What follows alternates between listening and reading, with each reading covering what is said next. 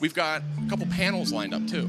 So we're going to have a cross section of some of the most talented graphical designers in Great, Worldwide great. Studios. Let them tell this story. They know exactly what, Yes. what they're talking about. the most talented graphical designers in Great, Worldwide great. Studios. Let them tell this story. They know exactly what, Yes. what they're talking about. So let's talk a little bit more about PS, uh, PS4 Pro, Sure. uh, and in terms of, of, of how the, the BioWare team is kind of taking advantage of this. So what's the, the broad philosophy there? Like, how, how do you guys kind of break this down? Well, so we like anything with more with more horsepower. it. Sure. It's, it's really nice to be in this industry where you can reliably count on new new uh, hardware. We look at exactly what what uh, Mark Cerny spoke about it today. We look at the resolution, which allows things to be sharper, cleaner, um, you know, more detail in them, and then we look at HDR, which is um, just all that. Um, visual power to pop on the screen and just really make everything more intense, everything more real. And so, for those two reasons, those two axes just make for an amazing experience. What does PS4 Pro mean to not only you and your team as developers, but also for a game like Horizon Zero Dawn?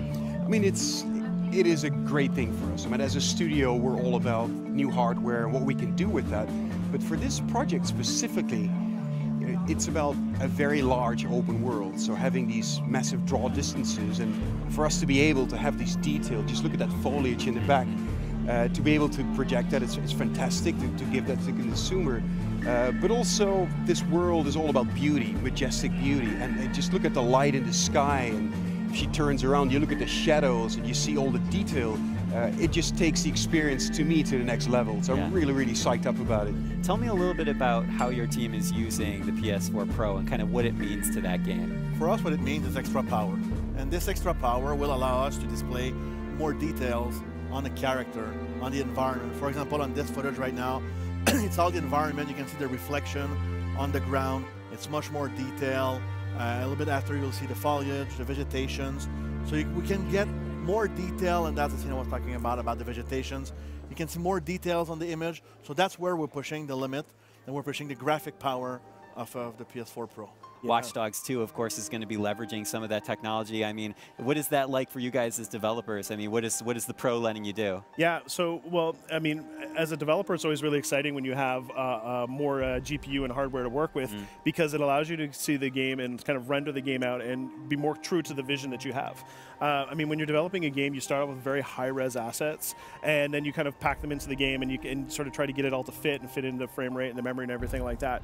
And so when you see the game on the PS4 Pro, uh, it's like so much closer to our vision. This, the details there it just kind of pops off the screen and I don't know. It's just kind of it's so, so cool to see your work like look that shiny and spectacular. Tell me a little bit about um, how your team is leveraging this new hardware. Sure. So for us, looking at Rise of the Tomb Raider, it's one of those things this. that, as you know, it's a beautiful looking game. These guys, crazy talent. The studio has just been focused on it. Partnered with Eidos Montreal, making you know the original version of it, and then we brought our Nixxes partners on board and said, hey, we've got this PlayStation version for the 20 year celebration. We want to pull that together and be able to look at the PS4 Pro hardware and saying we, for the first time, can do something in 4K.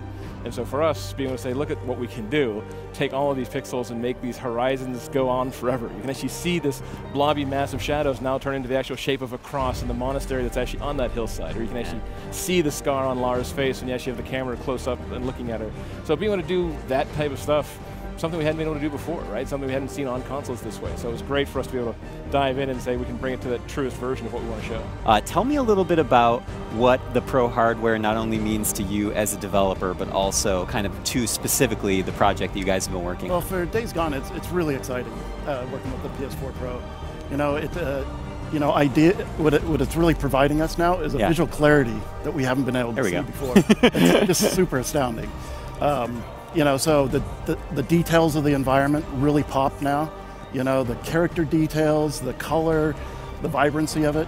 Um, it's just amazing. Hmm. And you know, when, when we first uh, first got it up and running and put it out in front of the team, it was like it was a game changer. I mean, it's. I, I think it's the overall power, overall of, power. of the PlayStation 4 uh, Pro.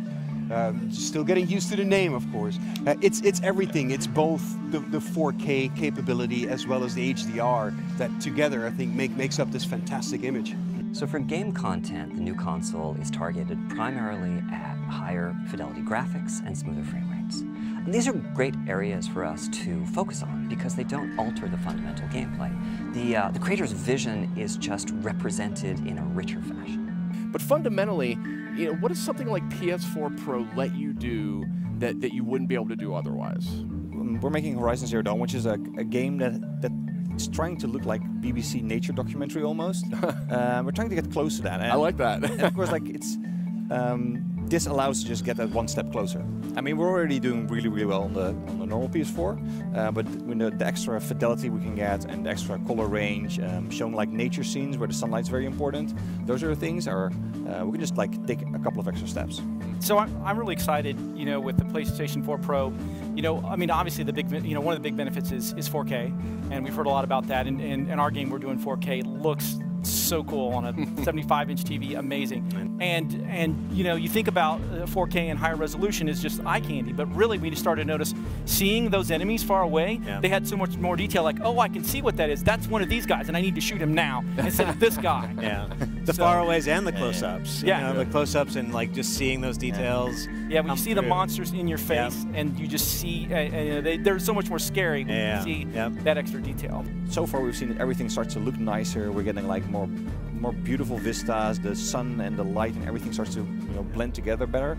Um, and I think also like you know ways to uh, use 4K uh, better. I mean, we started to add some details extra in certain places, and you you could not see the effect as well on a 1080p TV. What excites me most is like seeing something that we've made and we had a vision for what we wanted to achieve, and all of a sudden, like almost for free, you get something that's closer to what you wanted to achieve. it's like you know we already put in all the art and everything, and we, we just, just had to do some coding, and then we get something and it looks much more like what we're trying to make. So it's, it's really exciting. Like it's, it's just a better version of your game. But I think for us, it's being able to deliver a more a deeper experience. Uh, a more beautiful experience. So people, when they come into our world, the immersion will just reach a new level. So for us, it's great.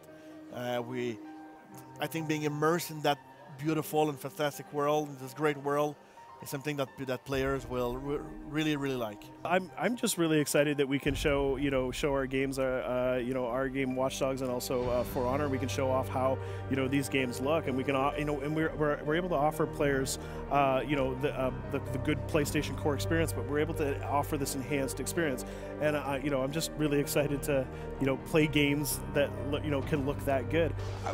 What I love about it is that there will be kind of the ultimate offering for people that want to get want to go the extra mile and get you know a, a, great experience and then get an even better resolution at uh, you know get get the smoothest possible frame rate. But at the same time I want to ensure and say if you have a, a, base model PlayStation 4 and you've seen our game playable at E3 and people said it looked amazing. I can tell you it's going to look even better when it comes out. So whether you get the baseline uh, model yeah. you get a Horizon for baseline or you get it uh, for PlayStation 4 Pro you can have an amazing experience